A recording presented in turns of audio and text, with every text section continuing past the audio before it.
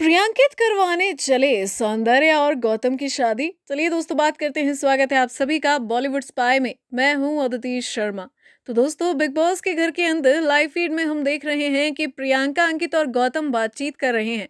जहाँ पर प्रियंका, गौतम से ये पूछती नज़र आ रही है कि क्या वो सौंदर्या से बाहर जाकर शादी करने वाला है, जिस पर गौतम कहता है कि पहले बाहर तो जाएँ, देखे तो सही एक दूसरे को थोड़ा सा और उसके माँ बाप से तो मिलूं, फिर देखते हैं क्या चीज़ें आगे बनती हैं। एंड मैंने उसको वैसे ही एक्सेप्ट कर लिया है, जैसी वो है फ़िलहाल अभी जिस तरीके से वो अपने आप को कैरी करती है, जो भी उसकी चीज़ें हैं, मैंने उसको वैसे ही एक्सेप्ट कर लिया है।